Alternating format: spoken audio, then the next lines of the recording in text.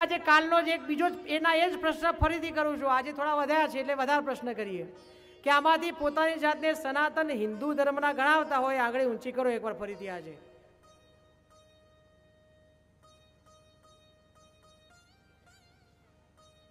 કે ભાઈ અમે હિન્દુ છીએ. હવે બીજી આંગળી કરો કે આખી ગીતા કોને વાંચેલી છે? આંગળી ઊંચી કરો. હવે સનાતન હિન્દુ ધર્મવાળા કેટલા બધા આંગળી ઊંચી કરતા હતા?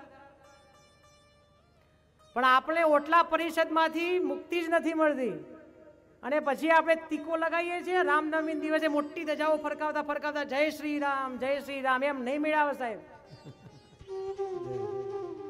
ગીતાનું જ્ઞાન લેવું પડશે, તમારા બાળકોમાં એ સંસ્કાર ઉમેરવા પડશે. આજથી વધારે તો નિયમ તો લઈએ કે રોજ ગીતાના બે શ્લોક આપણે પણ વાંચીશું, બે જ વાંચવાના છે રોજના.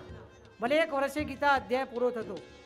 રોજ બે શ્લોક આપણે વાંચીશું, દીકરાઓને વંચાવીશું, નાના બાળકોને પણ વંચાવીશું, યુટ્યુબ ઉપર પણ બધું ઉપલબ્ધ હોય છે. એમાં બતાવીશું સોશિયલ મીડિયાનો ઉપયોગ આખો દિવસને બાળક કરવાની છૂટ. પણ ફક્ત અડધો કલાક એમને આપણા ધર્મનું જ્ઞાન આપજો. નહીં તો આપણું સોમનાથનું મંદિર સોળ વખત તૂટ્યું છે. અત્યારે આપણા ભારતમાં એટલા મોટા મોટા મંદિરો બની રહ્યા છે. અને એમની ધન સંપદા છે. અને તમે કમાયેલી પણ ધન સંપદા છે.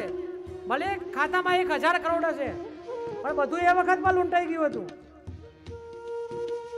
તો એના માટેની વાત છે. અત્યારે તમે જેના માટે ભેગું કરી રહ્યા છો તમારા આગળની પેઢી માટે, એનો જો સાચો ખ્યાલ રાખવો હોય તો રાષ્ટ્રભાવના જગાડજો. શસ્ત્ર અને શાસ્ત્ર બંનેનું જ્ઞાન આપણે લેવાનું કીધેલું છે ઋષિમુનિઓએ. બે ધર્મ છે આપણા. કે સમય આવે આપણે પોતાનું યુદ્ધ જાતે જ લડવું પડશે.